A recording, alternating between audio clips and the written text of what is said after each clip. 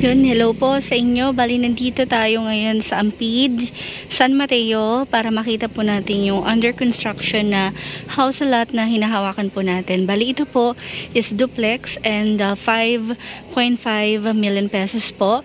10% lang yung down, then yung remaining po is through bank financing na. So, um, ang target turnover po nito is mga 3 months pa po.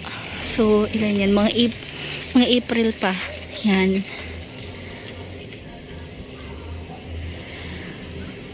Bali, ang lot area po nito is 100. Tapos, ang floor po is mga 105, 110. Yan. Bali po, itong developer po natin, may mga ginagawa na sila previously dito sa San Mateo. So, as of now, ito pa po yung available nila. So, isang unit na lang po ang available natin dito, which is itong part po na to.